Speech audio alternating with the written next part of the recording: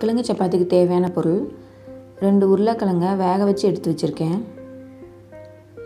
ஒரு பெரிய வெங்காயத்தை சின்ன சின்னதாக நறுக்கி வச்சுருக்கேன். கருவேப்பிலை உப்பு மஞ்சள் தூள் மிளகாய்த்தூள் கரம் மசாலா. சப்பாத்திக்கு மாவு பசஞ்சு ரெடி பண்ணி எடுத்து வச்சுருக்கேன். வேக வச்ச உருளைக்கிழங்க இந்த மாதிரி மசித்து எடுத்து வச்சுருக்கேன். இப்போ ஒரு கடாயில் மூணு டேபிள் ஸ்பூன் எண்ணெய் விட்டுக்கோங்க.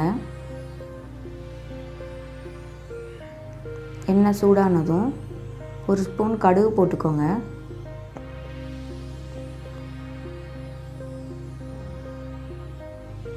கடுகு பொரிஞ்சதும் எடுத்து வச்ச வெங்காயத்தை போட்டு நல்லா வதக்கிக்கோங்க.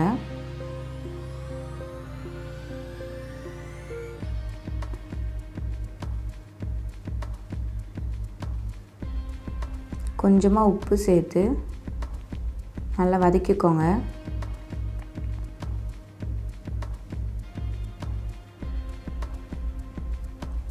கருவேப்பிலை போட்டுக்கோங்க. போட்டு நல்லா பொன்னிறமாக வர அளவுக்கு நல்லா வதக்கிக்கோங்க. இப்போ பொன்னிறமாக வந்துருச்சு.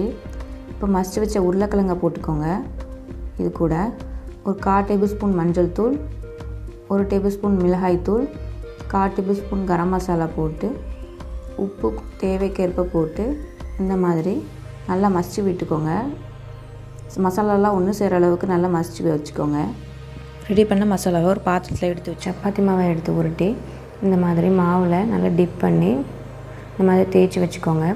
ரெடி பண்ண மசாலாவை கொஞ்சமாக எடுத்து இதில் வச்சு நல்லா எல்லா பக்கமும் நல்லா மடித்து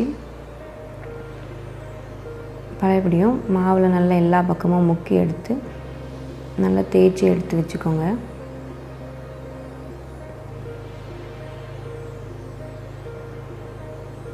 இந்த மாதிரி ஒன்று ஒன்றையும் தேய்ச்சி எடுத்து வச்சுக்கோங்க.